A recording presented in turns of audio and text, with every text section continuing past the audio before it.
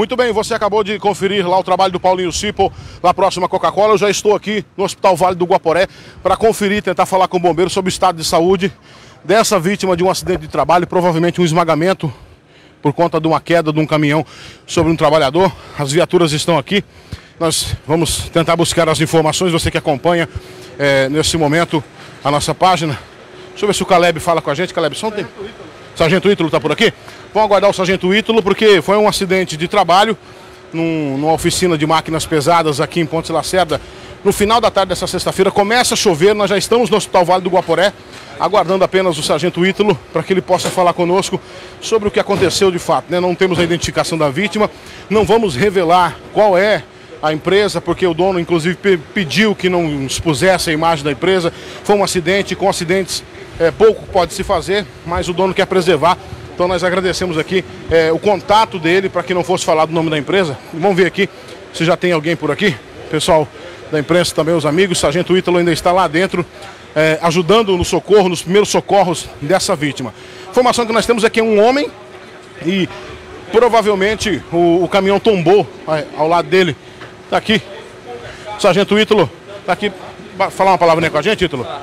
Ítalo, que tipo de ocorrência vocês encontraram por ali? Tivemos a situação de um homem, é, trabalhador, mecânico. É, houve ali a, a, a saída do, do calço do, do macaco do caminhão e o estribo prendeu o peito dele. O, os outros colegas de trabalho conseguiu no, no braço levantar, a, abrir espaço para retirar ele lá, lá de baixo. É, teve essa contusão torácica, tá com dificuldade respiratória mas ainda assim consciente. A gente conseguiu estabilizar ele na, na prancha de resgate, já está em atendimento médico. Ele foi atingido na cabeça também? É, felizmente não. É, ele está com a, a dor é, localizada no tórax, por causa da, da compressão da, da, da queda do caminhão. Muito bem, Sargento Ítalo por aqui, obrigado ao Corpo de Bombeiros pela presteza de atender a imprensa. Tá aí, a informação é que o homem está com algum ferimento torácico, pois o calço da cabine acabou cedendo e a cabine caiu sobre ele, mas ele foi encaminhado com vida, tem dificuldades para respirar.